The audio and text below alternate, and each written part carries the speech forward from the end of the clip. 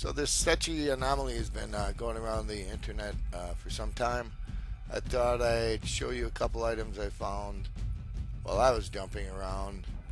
And I'm leaning towards the conclusion it's not a space sail or a space bomb. So let's have a look.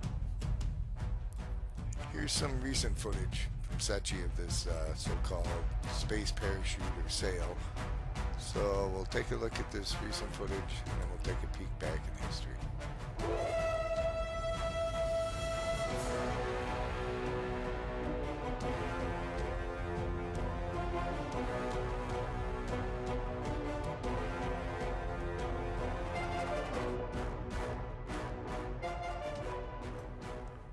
So here it is, back in 2007, May 6th.